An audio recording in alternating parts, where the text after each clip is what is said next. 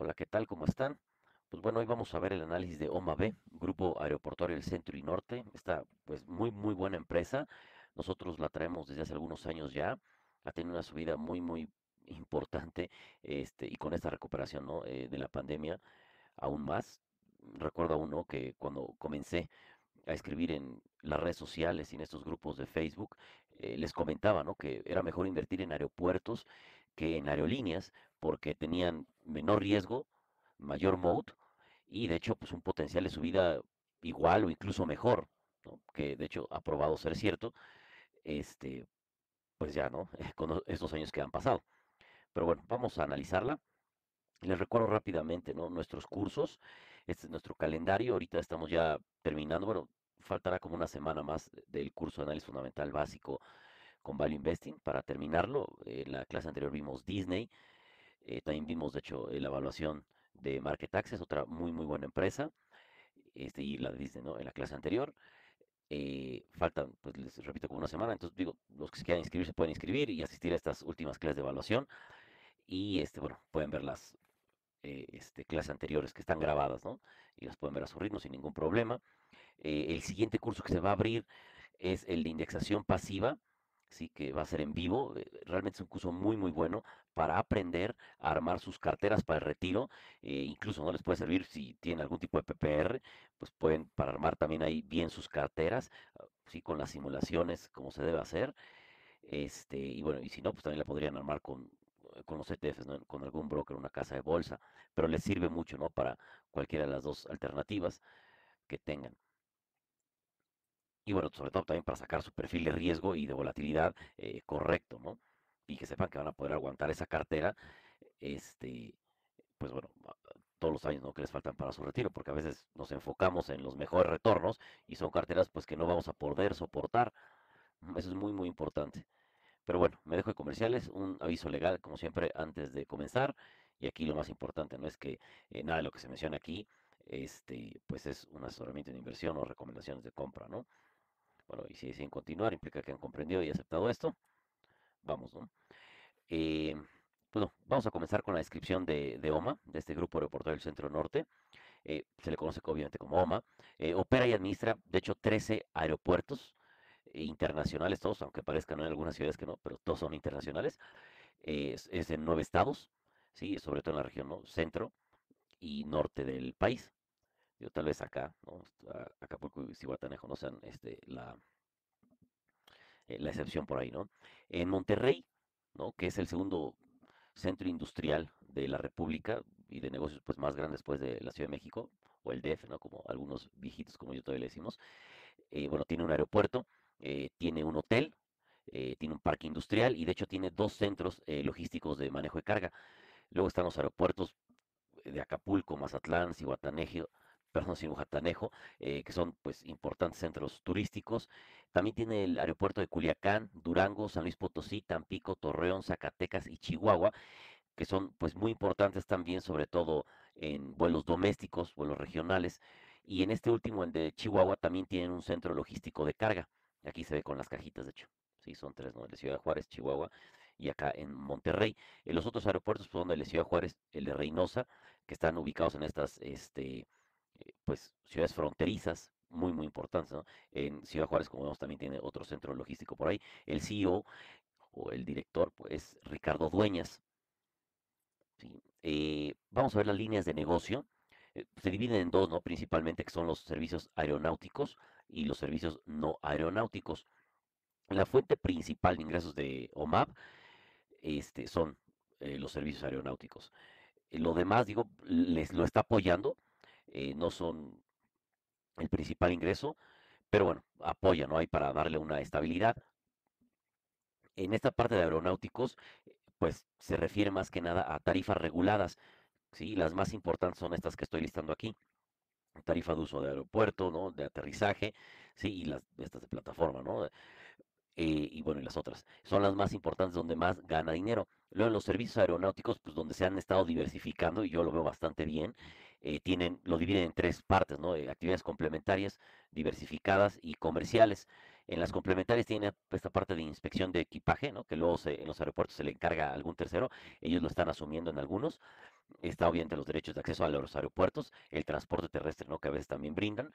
eh, en actividades diversificadas, bueno, están los hoteles que les había comentado, estos centros de logística de carga, el parque industrial, tienen uno, pero también tienen planes de tener otros, eh, y están en también desarrollo de bienes raíces.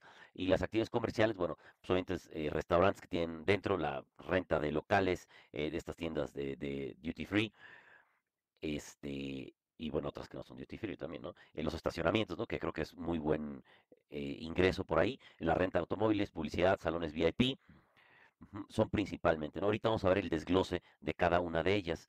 Aquí están sus ventas, como vemos, han crecido bastante bien. Pues obviamente aquí en el 2020 eh, cayeron, pero bueno, no es nada de qué preocuparse. Es una recuperación, como les digo, ¿no?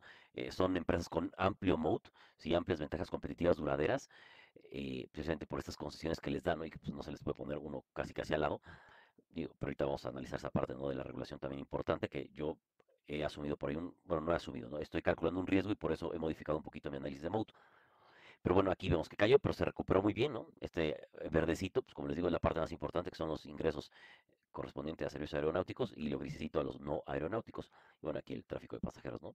Algo muy padre de, de OMA, cuando vamos a su página, es que mes a mes, sí, hacen un, sacan un reporte, ¿no? Del tráfico aéreo en sus aeropuertos.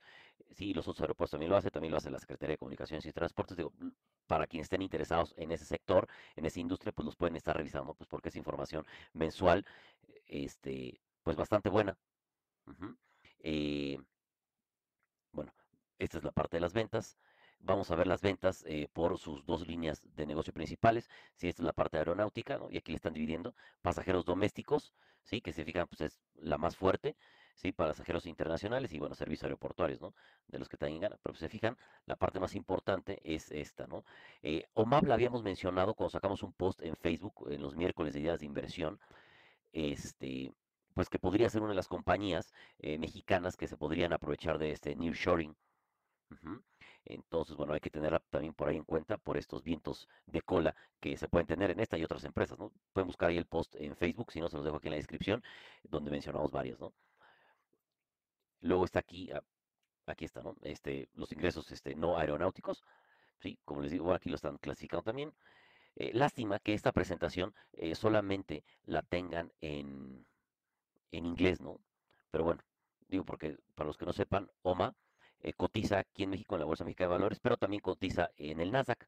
El ticker es OMAB, sí, con B al final.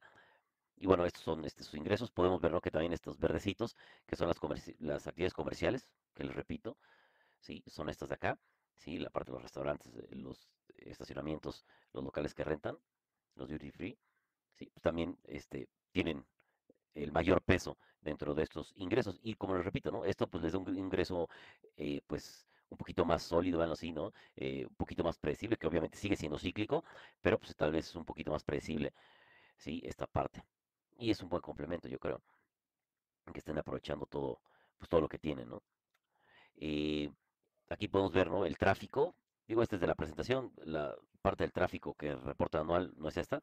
Sí, pero también la pueden ir a ver. Y hay otra parte interesante que tiene OMA, que también lo tienen otras empresas, es que cuando te metes a ver los reportes trimestrales dentro de su página en relación a inversionistas, de hecho ahí también tienen como un este, pequeño eh, aplicación o software, véanlo así, en donde uno puede ver, así como si estuviéramos en tipo ticker, este, los estados financieros. Sí, lo, digo, no tiene tanto historial, pero está bastante curioso y útil, ¿no? Pues para ver sobre todo los últimos trimestres rápido. Ujú, Porque luego estas este, páginas, ya sea Ticker, Morningstar, como vimos en el curso ¿no? de análisis fundamental básico, incluso Bloomberg, a veces podría equivocarse en la clasificación o en la forma en la que agrega los rubros contables de algunas empresas. Entonces, por eso siempre es bueno ir a la fuente, sí, y leer los reportes anuales y trimestrales. Y bueno, OMA, pues en esa como plataformita que tiene, lo deja hacer muy, muy rápido, como una tablita de Excel. Es, bueno, el tráfico también se ha recuperado, sí, bastante bien. Aquí ¿no? En el 22, que es el verde. Sí, se ha recuperado bastante bien. En la parte doméstica, pues de hecho, sí, el último trimestre del 22, bueno, estuvo ya por arriba, ¿no? Sí, del 19, sí, que fue el prepandemia, lo cual está muy bien, igual acá también, ¿no? Sí, ya están arriba, perfecto. Se está recuperando muy bien. Eh, aquí, eh, en los ratios, aquí me gustaría señalar, si se fijan, cómo ha saltado el ROE, ¿no? Venimos aquí en 35, pues aquí obviamente cayó por la parte de la pandemia, luego aquí a 26 y luego 39. y el último es de 53, este ROE, Return on Equity o retorno en el patrimonio de los accionistas o el retorno en los fondos propios.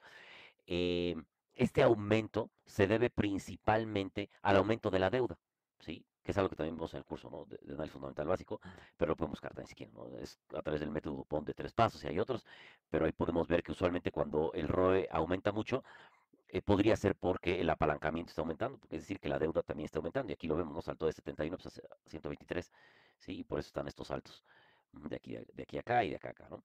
Eso es importante, los márgenes excelentes, ¿no? Como me gustan mucho verlos a mí, es parte, ¿no? Por la que de hecho escogimos también esta empresa, pues porque el margen bruto, ¿sí? Cuando pasa, ¿no? A este margen operativo, el EBIT margin, pues no cae, ¿sí? Eh, tanto, y también, ¿no? De este margen operativo al margen neto, pues tampoco cae mucho, ¿no? Eso es muy, muy bueno ver en las empresas. Tiene que utilizar otros complementos, pero esto es muy, muy bueno. Eh, las cuentas, la rotación, ¿no? De las cuentas por cobrar, se entiende, ¿no? Aquí la tenemos, cuentas por cobrar, se entiende que haya caído, también por la parte de la pandemia, pero se está recuperando, lo cual me parece bastante bueno. Este mil por ciento que vemos acá, sí, rotación en, por aquí lo ponen eh, en ticker como capital circulante, pero realmente la rotación del working capital, acuérdense, ¿no? El working capital, sí, es mi activo circulante menos mi pasivo circulante, y la rotación, pues de este working capital, pues es ventas entre working capital. Entonces, este, estos números grandes que vemos acá, que de pronto saltan a este mil o a este tres mil, se deben principalmente, pues por la parte de la pandemia, ¿sí? ¿Por qué? Porque de pronto, ¿sí? Mi activo circulante, bueno, pues se quedó más o menos en lo mismo, pero mi pasivo circulante saltó. Pues imagínense, si eso lo tengo en el denominador, y acuérdense. Que el denominador es activo circulante menos pasivo circulante, de pronto el pasivo circulante es mayor, pues el denominador, pues se hace cada vez más chiquito. Y si el denominador se hace cada vez más chiquito, bueno, pues toda esta relación salta por los aires. Y el principal rubro del pasivo circulante que aumentó Ajá, fue lo que se llama el current portion este, de la deuda, o sea, o sea, la deuda que tienen que pagar en los siguientes 12 meses. De hecho, para que se dé una idea, ese rubro saltó, ¿sí? De eh, 3 mil, no, sí, de 3 mil, o de, no, perdón, ya me acuerdo, de 36 millones de pesos, sí, aquí tenía mi nota, perdón, de 36 millones de pesos a 3 mil millones de pesos. Nada más para que vean, ¿no? qué tanto saltó ese rubro contable, ¿no? La deuda que tenía que pagar durante los siguientes 12 meses, que saltó este, pues de principios del 2020 a finales del, 2020, ¿no? De 36 millones a los 3 mil millones. Pues es inmenso. Obviamente esta parte de la deuda pues se hizo pues porque no sabían qué iba a pasar y pues para sobrellevar la situación, ¿no? De ahí pues obviamente toda la deuda aumentó, la deuda de largo plazo y todo. De hecho la deuda emitida en el del 2021 para adelante saltó a los 100 millones. ¿sí? Este, perdón, estaba en los 100 millones en el 2021 y saltó, ¿sí? A los 3 mil millones de pesos. Una disculpa, ¿no? Este, por eso. Entonces, nada más repitiendo para que no se queden con mi error, ¿sí? Este, la deuda, ¿sí? Que tenían que pagar en los siguientes 12 meses saltó de principios de este año a final, de este año que es el 20, ¿sí? Más o menos de unos 36 millones a unos 3 mil millones, ¿sí? Y en el 2021 ¿sí? En adelante, saltó de los 100 millones, ¿sí? A los 3 mil millones de pesos, ¿sí? Que es la deuda que emitieron, ¿sí? Pues, mucho. Obviamente, esa emisión de deuda, pues, pues le pegó acá, sobre todo por la parte que tenían que pagar en los siguientes 12 meses, pero pues también le pegó, ¿sí? Acá lo podemos ver, a la deuda total en relación a los fondos propios. Y esto, pues obviamente le pega al ROE, ¿no? Entonces sí le pegó. Yo, yo espero que ese dinero que no utilizaron ¿sí? Para la pandemia, pues porque no les fue tan mal y se recuperaron rápido, pues, lo utilicen, como han estado diciendo, para hacer pues inversión, y digo sobre todo por ahí, ¿no? Este, eh, e, en el aeropuerto de Monterrey, yo espero que no se, eh, se, enojen los regios, pero pues sí le falta bastante, ¿no? Bastante ese aeropuerto, sobre todo porque es una de las ciudades más importantes de la República, la segunda podríamos decir, ¿no? Entonces sí le falta mucha, mucha inversión en ese aeropuerto. En los reportes han estado diciendo que la van a hacer, ¿no? Eh, el interest coverage, que también me gusta bastante, pues, está arriba de 6, yo lo estaría vigilando y lo he estado vigilando, sí, que no caiga abajo de este 6, digo, aquí cayó, pues es algo normal, sí, pero bueno, ojalá lo vuelvan a subir, ¿no? Por acá, sí, estaría genial, arriba del 10 estaría genial. Pero bueno, eh, vamos a esta parte, aquí eh, en los aeropuertos, ¿no? La capacidad por aeropuerto, sí, esto es obviamente por pasajeros, eh, aquí sería interesante, obviamente, ¿no? Analizar cada uno de estos aeropuertos a detalle, ¿no? Pues para ver sus márgenes. El problema, pues obviamente, es que como esta concesión, cuando se la dieron a OMAP, se la dieron por paquete, o sea, le dieron el paquete de los tres aeropuertos. Entonces no pueden decir, ¿sabes qué? Bueno, es que este no me está dejando tanto, no, eh, lo voy a cerrar. No, tienen la obligación de estarlos operando todos en paquete. Este, pero bueno, eh, porque hay algunos que podrían ahí estar en pérdidas, sí, o casi casi tablas. Este, pero bueno, es para que vean, ¿no? El tráfico, pues obviamente eh, los primeros lugares se los lleva Monterrey, ¿no? Sí, que están pegaditas estas terminales. Sí, es el primer lugar, la suma de las tres. Sí, luego ahí podríamos decir, no, que es Culiacán, algo ahí raro, pero sí, es Culiacán. Eh, este destino, ¿no? Y de ahí, bueno, pues seguiría Ciudad Juárez. Este, y bueno, pues Mazatlán, ¿sí? Eh, bueno, vamos a seguir, ¿no? Vamos a continuar. Este es obviamente el valor intrínseco que saqué. Yo lo calculo más o menos en los 230, ¿sí? Pesos, ¿sí? Porque acuérdense que también está el ADR cotizando en Estados Unidos. Yo lo calculo más o menos unos 230. Yo, para los que tengan la duda sobre las acciones que cotizan en el Nasdaq en Estados Unidos de OMA, la relación es de 8, ¿sí? Quiere decir que eh, una este, acción eh, de allá corresponde a 8. Este, pues, bueno, para que se una idea, ¿no? El ratio es de 8, pues. Eh, bueno, el valor intrínseco es más o menos esto, ¿sí? Acuérdense que el valor intrínseco no es un número exacto, sino es más bien un rango, ¿sí? Está alrededor de los 190 y tantos pesos.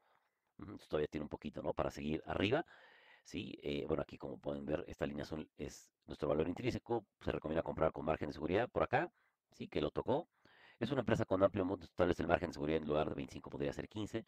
Sí, aquí lo único bueno que hay que ver si quieren atinarle un poquito más, bueno, es que la tendencia nos está marcando, sí, como negativa con este cruce, con este cruce, perdón, de estas líneas verdes que son la tendencia y su media móvil apunteada, sí, nos está indicando que podría haber una corrección, podríamos agarrar un mejor precio si nos esperamos un poquito. Eh, esa es la tendencia pues de corto plazo, ¿no? El momentum también nos marca, ¿no? Que está bajando el momentum, también sería bueno esperar tal vez un mejor momento eh, de compra, tal vez por abajito de esos este, 195, eh, ¿no? Y este precio es el precio objetivo promedio de los analistas. Eh, pasamos a los precios objetivo, ¿sí? Aquí, este, digo, estos analistas, ¿sí? Son este, los que da Ticker, la plataforma Ticker, y estos son los que da Refinitiv, Esta otra plataforma que hay. Bueno, el target promedio es de 209, ¿sí? Bueno, para ellos todavía le falta un poquito. Yo creo que todavía le falta un poquito más de recorrido, más que lo que piensan los analistas, pero acuérdense, ¿no? Hay una diferencia entre el precio objetivo que se saca a través de múltiplos y el valor intrínseco que se saca a través pues, de los fundamentales. Los precios objetivos con múltiplos, ¿sí? Pues tienen obviamente ahí el precio, que es la variable, que es el humor del mercado. El valor intrínseco pues no depende tanto del mercado, sino solamente de los fundamentales de la empresa, ¿sí? Eh, pero bueno, sí, este, si nos fijamos, ¿no? El, este, la mediana, perdón, el, el promedio, ¿sí? Pues ha estado, ¿sí?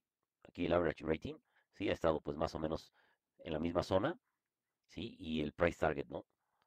Este, bueno, este average rating se refiere a esto, ¿no? ¿Sí? Del buy, pues más o menos se ha mantenido, Y este, pues es del precio, sí ha ido subiendo poco a poco, ¿no? Como va subiendo OMA. Yo creo que todavía le falta un poquito, ¿no? Este, para arriba. Y bueno, este es el, pues el análisis de mode, ¿no? Es un análisis rápido, con pocas variables. Eh, el análisis completo lleva muchas más variables, subvariables y complementos de estas subvariables, ¿no? Eh, y obviamente depende mucho del tipo de empresa y del ciclo de vida. Ajá, este, son las variables que vamos a utilizar, ¿sí? Porque pues al igual que cuando utilizamos algún modelito o analizamos una empresa, pues no todas son iguales, no todas están en el mismo ciclo de vida, pues hay que ir ajustando eso pues, para utilizar las variables eh, correctas. Aquí solamente muestro algunas y en general los aeropuertos este, pues tienen buen mode. Eh, en esa ocasión, eh, precisamente durante la pandemia que empecé a escribir en las redes sociales, publiqué varios aeropuertos de diferentes ciudades, ¿no? Estaba el de París, pues obviamente los grupos aeroportuarios de México, uno de Italia, ¿no? Que son muy, muy buenas inversiones y se compran a buenos precios. Aquí, como se fijan en el mode, pues todo va bien, pero aquí en la parte ¿no? de regulación es la que a mí eh, más me preocupa. Lo mencioné en la publicación de Facebook que hicimos la semana pasada, cuando subí parte de este análisis. Le preguntaron a dueñas ¿sí? Eh, sobre los cambios ¿no? a las leyes de administración pública de aeropuertos y aviación civil. En esta nueva ley se le permitía otorgar asignaciones a entidades paraestatales, vean así, ¿no? como al ejército, para que puedan prestar el servicio de transporte aéreo, pero también para operar sí, explotar o incluso construir aeropuertos. Eh, Dueñas comentó que era muy temprano para saber algo y que tal vez para finales de año se pudiera tener un poquito más de información.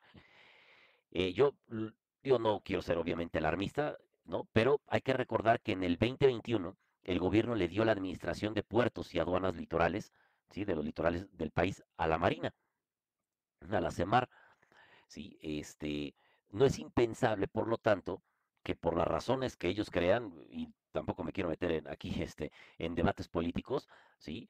Solo estoy tratando de ver esta parte por probabilidades, y pues no es impensable que por las razones que sean, se pudiera hacer algo similar a los aeropuertos, porque en aquella ocasión pues dijo, no, pues es de interés nacional y por la seguridad y diferentes cosas, por más o lo mismo u otras cosas, yo no sé, sí, podrían hacerlo con aeropuertos en zonas clave, como son las fronterizas, ¿no? Como es la parte de eh, Ciudad Juárez y Reynosa, e incluso de Culiacán, ¿no?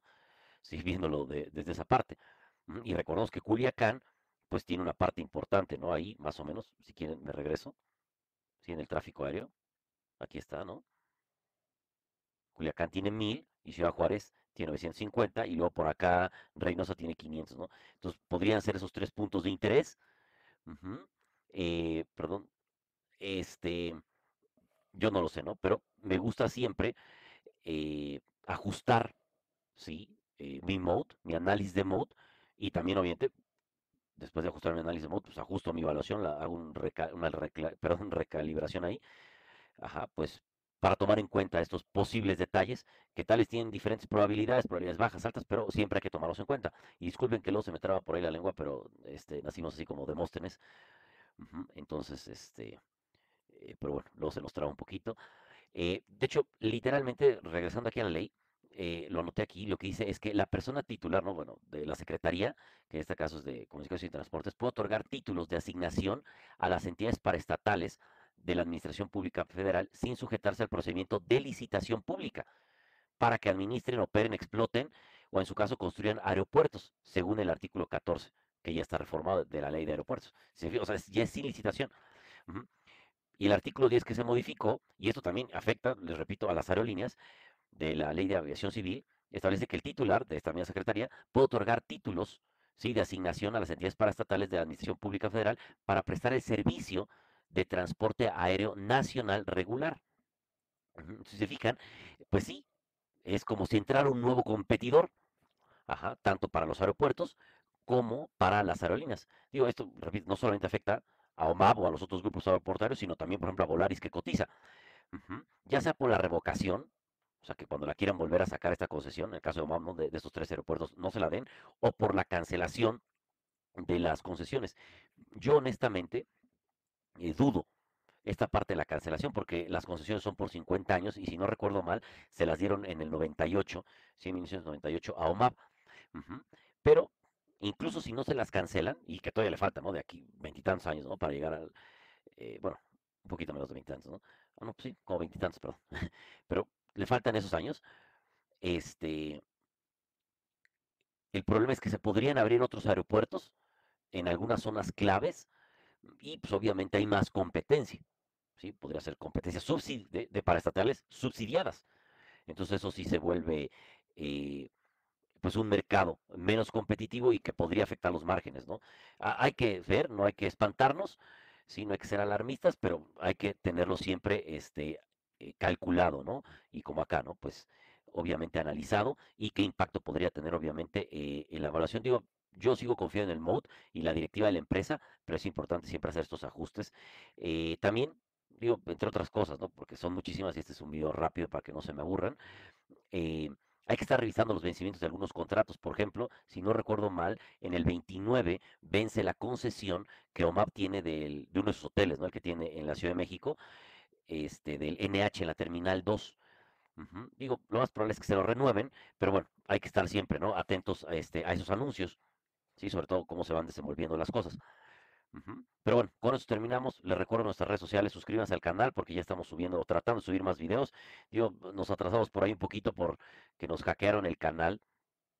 Este, estos desgraciados. y bueno, pues nos lo cerraron y fue todo un rollo poderlo recuperar. Gracias a lo recuperamos. Pero bueno, aquí estamos este, de nuevo. y pues para que también nos echen la mano, ¿no? Porque pues, este, sí, sí, sí bajó bastante por ahí, ¿no? El tráfico del canal.